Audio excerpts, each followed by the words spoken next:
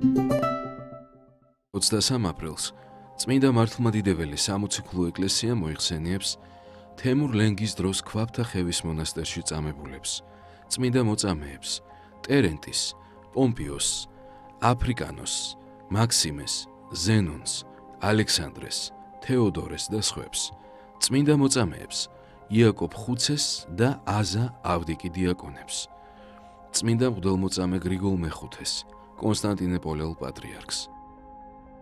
დღევანდელი დღის მფარველი წმინდანების ლოცვით და მეოხებით უფალმა დაიცვას და დაიფაროს სრულიად საქართველო. ამინ.